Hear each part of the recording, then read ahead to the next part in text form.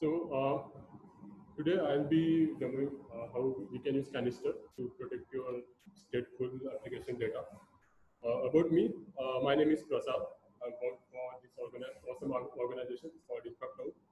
Uh, as a, so my work revolves around developing controllers and operators in Kubernetes. Uh, I also, as a part of my work and as a hobby, I also contribute to a lot of open source projects. Uh, including Kanister that we'll be uh, uh, we'll be discussing. So uh, this is you know overview of what I'll be showing. let's discuss about what are the limitations in Kubernetes, mostly around stateful applications. how do we manage data in Kubernetes? what is canister and how we can use that? How can you use the same for protecting your applications? So uh, anybody uh, here who doesn't know Kubernetes, I, am assuming everybody is, uh, everybody knows what is Kubernetes and uh, why do we need that. Uh, so there, I know Kubernetes is like have solved most of the problems for us. Uh, it helps us uh, deploying your applications in multi-regions, uh, like in distributed manner. but there are some limitations like the service discovery is, is still like it's still evolving. There are a lot of open source projects and vendors offering that. Uh, similarly, disaster recovery and managing stateful applications is hard in Kubernetes. That's why we see a lot of open source tooling, uh, lots, lots of commercial offerings uh, which provide solutions around. So, uh, you know, managing stateful set in Kubernetes is hard because the the process of upgrading or taking backup or restore might not be straightforward. You can't just click click on uh, you know upgrade the stateful set and it's not like it will work all the time. Uh, mm, uh, some stateful set uh, applications need special handling, especially while taking backup, restore, and if you want to upgrade it. For example, uh, take example of uh, database. if you want to upgrade a database, it might need a migration before we do actual upgrade, before we actually change the binary, right? So uh, yeah. Uh, also, Kubernetes doesn't backup and restore automatically. You need to have uh, custom logic to, to, do that. You can do it using operators, like uh, we discussed what uh, said. So can, you can use operators. You can develop operators which takes care of this which will periodically you know take backup and restore. If there are any failed uh, upgrades, it will try to roll back to the previous version. Uh, there are some tools which provide uh, data management, and most of the tools uh, backup and restore data using volume snapshot. So it depends on what volume uh, storage provider you're using. It will just try to uh, do snapshot of PVC based on obviously your storage provider. Some applications use uh, logical backups uh, that are more application centric. Uh, for example, if you have MySQL database, then uh, you take backup using MySQL dump, restore using MySQL uh, like that. Um, as I said, some databases might need special handlings while doing backup or restore, like data migration. So volume snapshot might not work in that case. Uh, that's why uh, logical backups or application-centric backups comes into picture. So uh, these are some open source tools to uh, backup and restore your data, like Velero, Kanister, Stash. Uh, Velero, Velero and Stash mostly focus on taking snapshots, like we discussed, taking snapshot of PVCs. And in Kanister, we uh, mostly focus on applications rather than uh, snapshots. So let's discuss how Kanister helps in protecting your data. As, as, as I discussed, as I said, uh, Kanister is application centric. So you can define how you how you want to back up your application data. Well, uh, it it uh, so it has controller and uh, custom resources. So it works uh, perfectly with existing Kubernetes uh, Kubernetes environments or CLI. Uh, it supports multiple storage providers like ECS Azure, any S3 compatible storage. Yeah, so um, talking about Kanister components, as I said, Kanister has one controller and some custom resources through which you can uh, uh, you can manage your data. So we'll discuss uh, more uh, in the next slides about it. Uh, there are some tools uh, which Kanister provides, like Kanctl and Kando. Uh, Kando is for transferring transferring your data from your local local part to cloud storage like S3 bucket or or other. Uh, Kanctl is to uh, create your custom resources like action sets and profile. Uh, what are these uh, CRs? Uh, we'll discuss in detail a bit. So before this, uh, let's discuss about the use case. okay. So let's let's suppose I have a PostgreSQL application deployed on the Kubernetes cluster, and so how do you basically take backup of PostgreSQL application? by application, I mean application data. So basically, you use pgdump command to take backup. You you you get dump, then you upload that dump to some storage provider like S3, uh, and you can restore it. So the workflow for restore it, basically you pull the dump, you restore using the again Postgres command. So this works perfectly on uh, if you are not running your application in Kubernetes. But if you have uh, PostgreSQL deployed on Kubernetes using stateful set, then uh, this is not very straightforward. Like you can't you can't just uh, create script and execute that script. You need to log uh, you, you need to uh, log in into that pod. Then you have to execute these commands, right? Or if let's suppose in the PostgreSQL uh, in PostgreSQL pod there is no pgdump command. So how you can do that? How you can execute pgdump all command. Uh, another way is like you develop, you create a container image, deploy that pod into Kubernetes, and uh, by logging into that pod, like helper, let's call it helper pod or tool pod, uh, then you execute pgdump command by giving host of your PostgreSQL application. That is uh, other, you know, other way. So uh, to execute this workflow in Kubernetes environment, Kanister helps you to automate uh, this workflow and uh, execute it for you. So as I said, based on your use cases, whether you want to go into that pod, execute commands, or you want to spin new pod, then execute commands for backup and restore, or you want to uh, spin new pod, attach volume, attach PVCs, and then execute your commands. So based on uh, your use case, uh, Kanister provides different uh, different set of functions. Uh, so I'll just uh, explain how you can automate this command execution. So Kanister provides, Kanister has custom resource called Blueprint. So Blueprint, can you see, can you read the text? Uh, so Blueprint holds all the commands you want to execute to take backup. If you look at the footer, so these are the commands. So here you can specify how you want to take backup. And other fields, if you check, uh, this is the action name. Uh, you can call it backup action or restore action. And you have to pro uh, provide the uh, Kubernetes object type on which you want to execute this operation. Uh, as I said, uh, there are different functions based on your use, use case. So if you use kubeexec function, Kanister will exec into your pod and execute your commands that you have listed here. If you use kube task function, then Kanister will spin up new pod with the image you have, provide, uh, you have provided.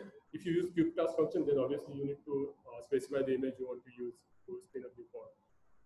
And yeah, so this is blueprint where which holds all the commands you want to execute to perform actions like backup and restore. Then another resource is uh, profile which holds all the credentials. Like, uh, uh, so when you, yeah, so uh, if you have to push your dump to S3 bucket, uh, you need to provide S3 bucket name, S3 credentials here. So that you can do it in profile. Uh, so basically profile holds the credentials uh, that needed to, then you to access your storage, storage object store. Uh, so you don't have to basically, you don't have to create this YAML and uh, create it you don't have to write this YAML manually, obviously. Uh, there is a tool called Kanctl. You can just uh, execute that command and that will create this custom resource for you. Uh, if you like playing YAML and debugging YAML, then you can write your YAML manually. Uh, what else? Yeah. Now we, we have set of commands in Blueprint that you want to execute. Uh, you also have credential, credentials to access your S3 store, for example. Now, how do you execute actions actions for uh, triggering backup or restore? That's why there is a third custom resource called action set, so which binds your blueprint and action and profile.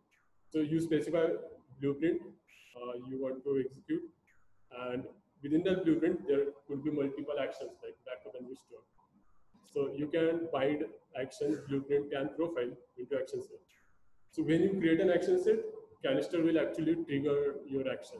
You will, it will, as per your blueprint, it will whether it, it, it can execute uh, to exec on your pod and perform the actions you are listed here. Okay, any questions so far? Any questions? Okay, so as I said, there are three um, three compo main components in Kanister. Blueprint, which holds uh, the commands you want to execute. Profile, which holds the credentials. And then third one is action set, which actually triggers the action listed in the blueprint. So let's see in action uh, how we can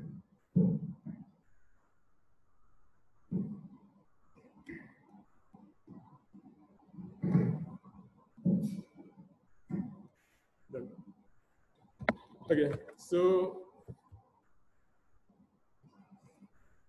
let's see in action how we can restore and back up the PostgreSQL database. So you can see, uh, can you read the text? Better? All right. So I have already deployed an PostgreSQL stateful set in uh, Postgres namespace.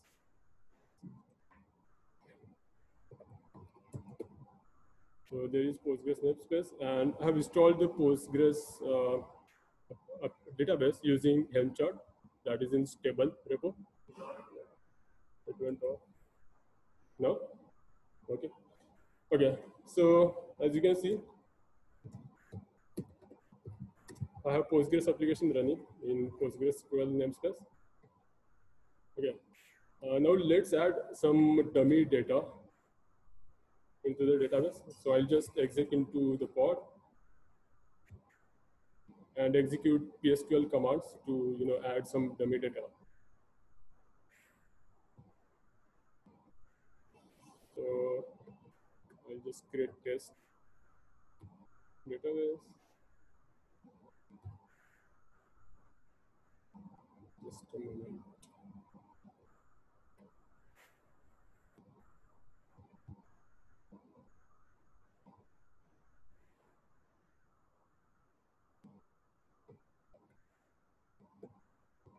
Now I'm into the pod.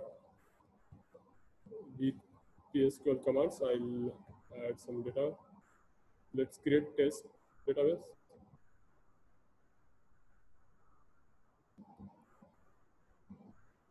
And add some, uh, create some test table and add some entries.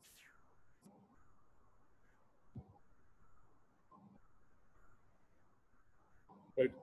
Now one entry called with name Prasad. Let's add another one.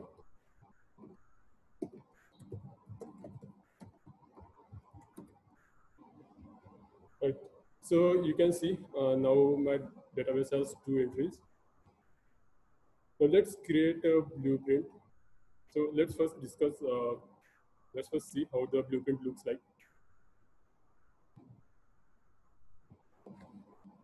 So this is the blueprint I have created to back up my PostgreSQL data. Uh, if you check the commands, so first of all, I'm using kubetask function. So it is expected that it will spin new pod with this image, Kanister tools image. And in that image, I'll execute these commands. Okay. So uh, in this image, I will have pg dump all command, uh, pg dump all binary already installed. Also, it can do binary install. So if you check the command I'm using to take backup is pg dump all command. And then I'm uh, I'm creating tar of it, zip of it, and pushing it to the location that I have created, uh, that I have mentioned in the uh, profile. So Kando will just push your data, whatever your dump data, into the location that you have specified in your profile. So I have already created a profile uh, which has my S3 bucket name as InfraCloud Kanister. So let's see if uh, there is any data on that bucket.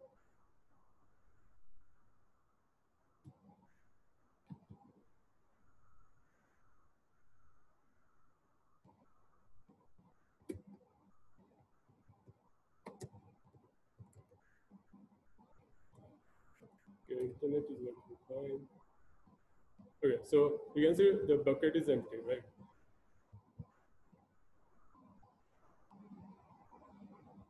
Okay, uh, now let's create the blueprint.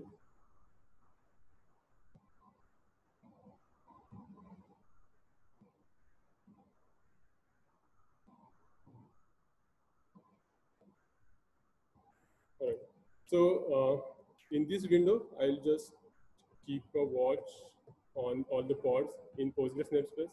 So if Kanister spin up new pod, then we can see here.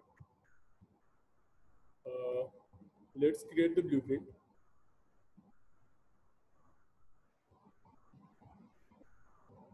Yeah.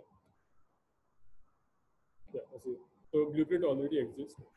Uh, any questions around the blueprint, content of blueprint? Great. So now we have blueprint and profile. Yeah.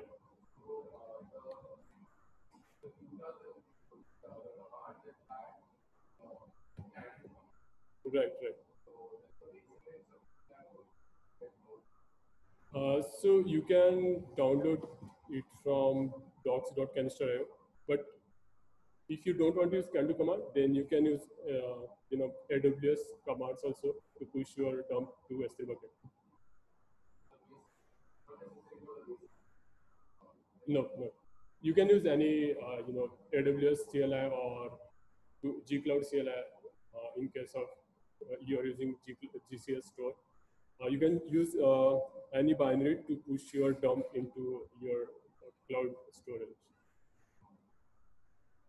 uh, we need kando to set artifact. So what here we are, we are doing is uh, we are uh, generating unique backup location because we are using uh, we are adding timestamp to it, right? So using timestamp, uh, we are creating backup location uh, that will be unique each time, and we are setting this as an artifact with this phase with this action.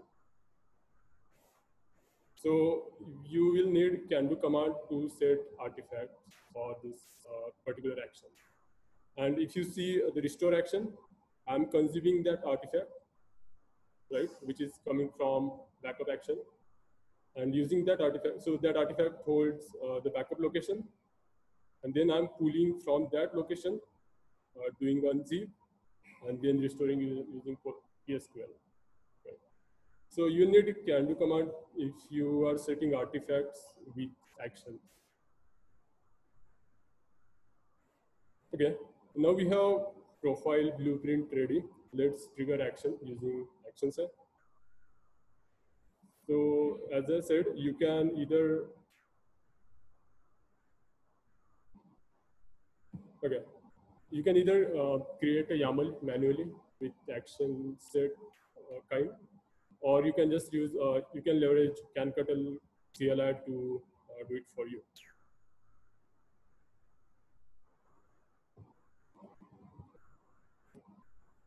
So let's trigger action using Kanctl command.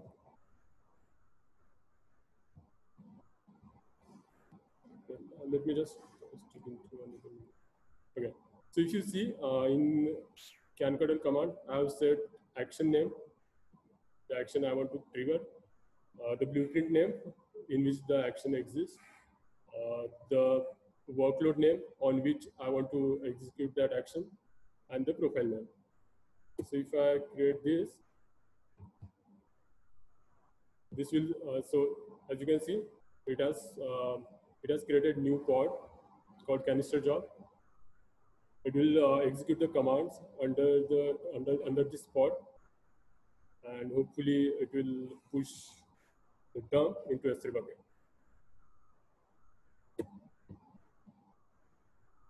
Okay. Now you can see uh, yeah. Now you can see my S3 bucket has uh, dump now. So let's do one thing. Uh, let's uh, delete the data and try to restore using action set. So here, uh, the data data is already there. Let's delete the test table.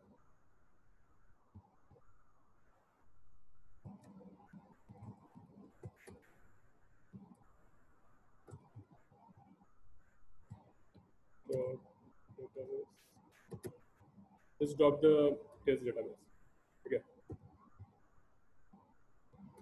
Now you can see uh, there is no test database, right? Now let's try to restore uh, using the action set. So restoring, uh, the command for restore is pretty straightforward. You just have to give uh, the action name here that will be restored and from which action set you want to restore it. Okay. Before we go into that, you can also check status of action set to ensure that if uh, that was completed or not. Kanister is the namespace in which uh, my controller deployed. If we describe this, uh, you can see the backup action was completed, right? And you can use this ID. You can use uh, the action uh, action set name if you want to restore to that point. If there are multiple actions, like if there are multiple backups, then there will be multiple backup IDs, and you can choose the backup IDs to which you want to restore restore your data. So let's use uh, let's restore to this point using action set. So I'll just uh, use this ID in the kanctl command.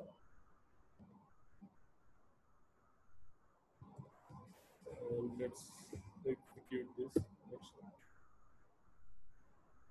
Now you can see uh, again new pod is created which will do the restore. And you can check the status using kubectl describe command.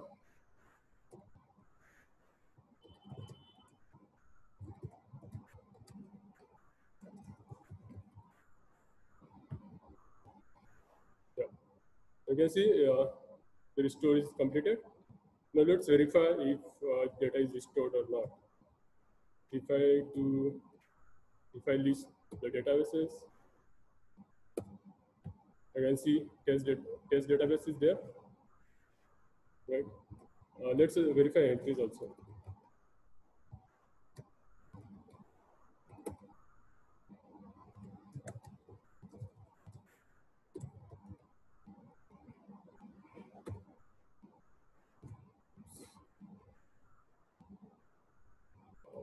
connect to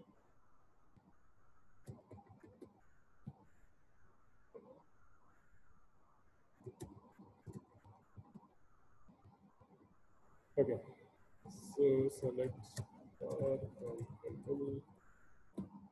Yeah, you can see the data is restored uh, with correct entries.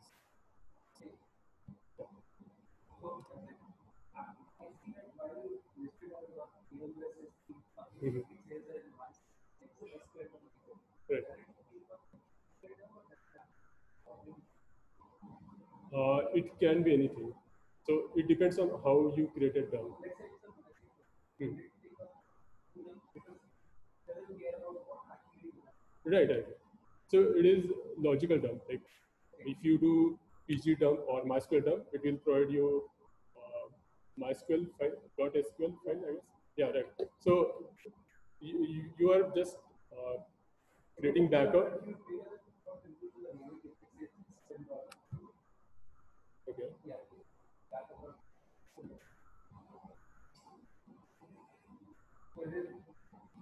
Uh, yeah, so uh, this path is, uh, if you see the blueprint, so I have created this path using uh, using the timestamp, right? I have just hard coded uh, the extension here. That's all.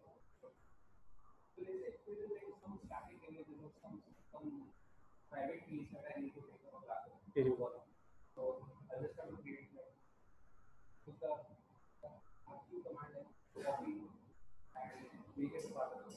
Right. So uh, format you asked. So you can use any format. So um, S3 is object store, right? You can you can store any type of data there. So that depends how you take dump or backup of your application through the blueprint. So if uh, there are multiple files you want to take backup, you can create tar or zip, okay, and you can just upload it. But while restoring it, you again have to unzip that um, with the operation.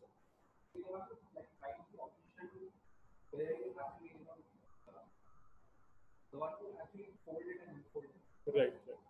So what Kanister does is um, it uh, it provides you a way where and how you can execute your commands, but the commands that you have to mention. Right. So there might be the use cases while uh, while taking backup, you need to actually volume uh, mount the PVCs into part and then do the backup.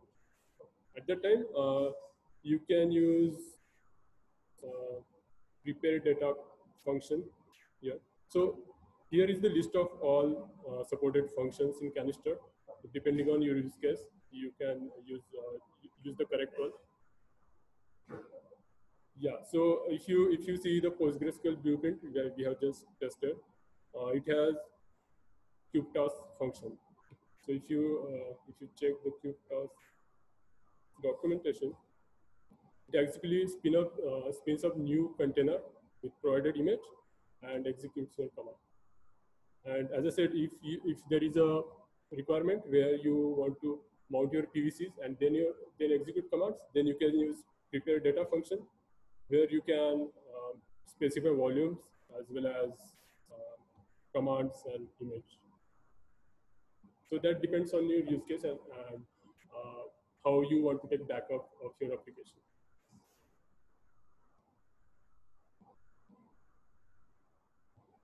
All right. So I think, yeah. So we just discuss. Uh, we just um, yeah. So we just saw how how we can use Kanister to take backup and restore all the data. But behind the scenes, uh, this is how it happened. Like there is a blueprint which holds all the commands. Then there is Kanister controller and when you create action set, the Kanister controller fetches blueprints. It figures out what commands I need to execute. Also, uh, my blueprint holds, uh, sorry, my action, with my action set, I also pass the Kubernetes object on which I want to execute the actions. So it, the Kanister controller uh, just populates all the information and it uh, triggers proper action on the, your Kubernetes object. Any questions in the workflow?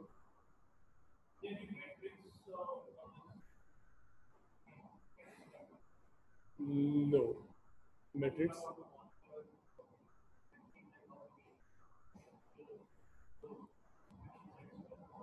Right, so um, if you see, uh, the action set is nothing but a custom resource. In So in Kubernetes uh, term, it will again a resource only, right? So you can just use Kubernetes metrics to monitor the action sets.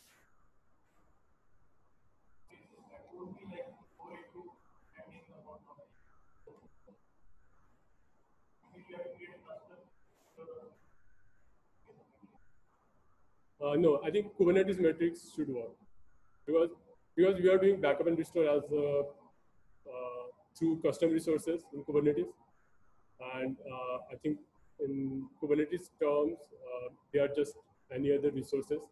So if you if you have metrics which uh, which monitors the resource numbers and other resource metrics, then it should be able to monitor action set resource as well. You don't. I think you don't have to explicitly uh, add metrics around these. Inbuilt Kubernetes metrics should be suffice. Yeah. So, for example, if I want to just list um, how many backups I have done, I'll just do kubectl get action set.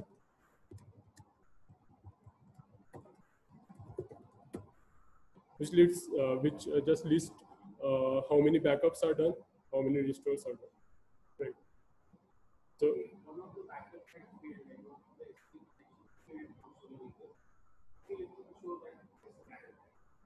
Sorry? Hmm. Right, right, right. In that case, this would still show that it has a. Yes. It will not show that it has failed. Right. This action, this, this use cases, I should know that whether it is successful or not, and within that there are some other data points which I want Mhm. to. Okay. Okay, got it. Uh, for that, uh, for now, you need to describe the action set if you want to check the status. But there, but there are solutions uh, like for event monitors. I think Prometheus. Prometheus allows you to monitor events, Kubernetes event. So you can leverage that to uh, to check status of your uh, custom resource.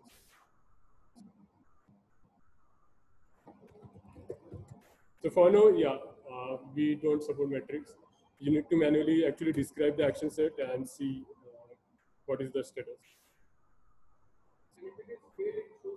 Yeah, yeah, it will show failed uh, with proper error messages. You know, I did not see all the things which could do in the action. I believe there were two big things, and if I want to run a specific command on the on the node which I have made, Mhm. and is there any other? I'll tell you the use cases that I have a like Never mind. See, I have, uh, uh, I have Postgres array, and for Postgres, I have, uh, uh, all the storage to Postgres.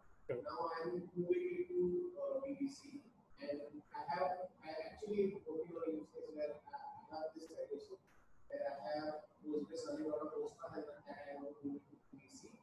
But I want to make sure that all the data also goes there.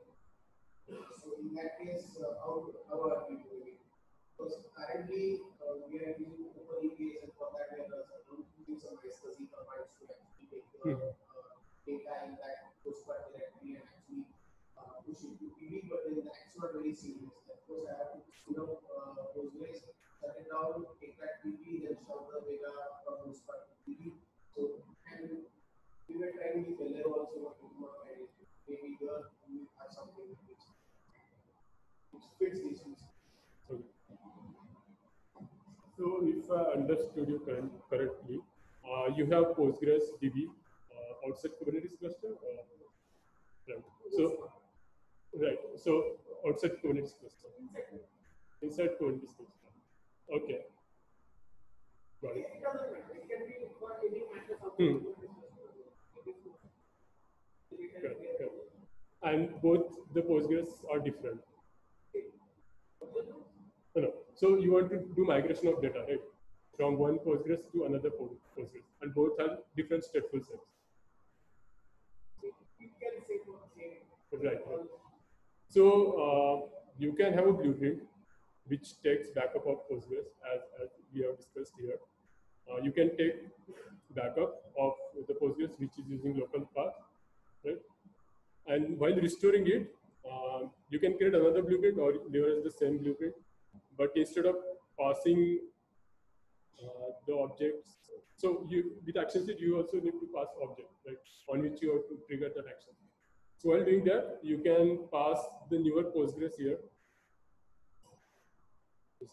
So while taking backup, uh, you can you can use uh, the older Postgres. And while triggering restore action, you can specify restore action here. Uh, but instead of uh, restoring on older Postgres, you can change it with your Postgres.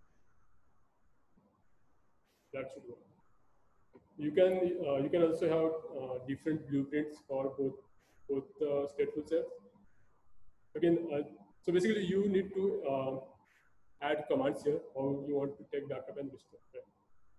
So Kanister will just tell you how how it is going to execute your commands, but the commands that you have to put in.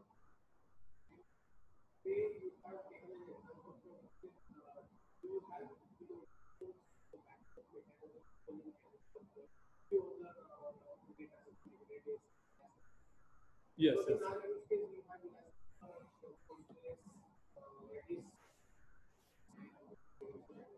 Okay. So if you go to GitHub repo, Kanister, Kanister GitHub repo, so we have listed community applications here. So we have created sample blueprints and documentation around how you can use Kanister to do backup and restore. For example, this one is for MongoDB, where we have we have mentioned uh, we have put the MongoDB blueprint and required actions, required steps you need to follow to do the uh, backup and restore. Same for Elasticsearch also. I think we have an example. Yeah.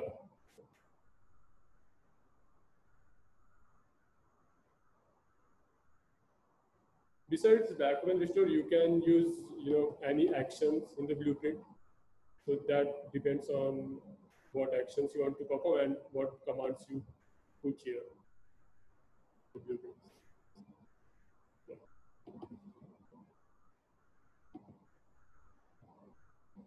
Okay, any questions? Yeah.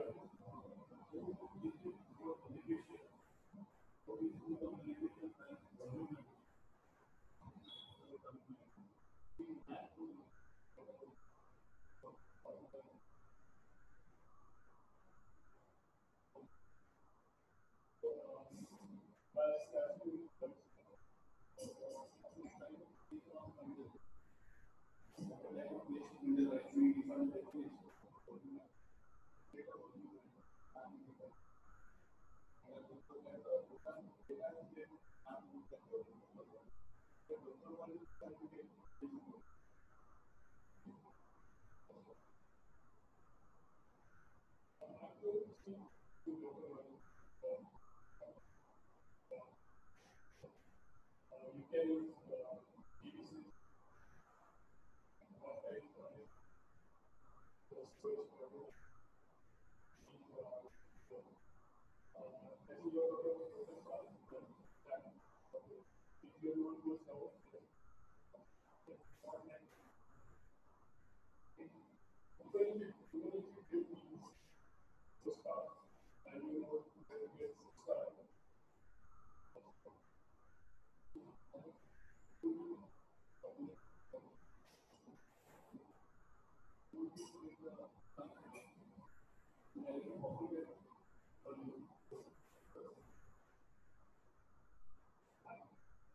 Thanks to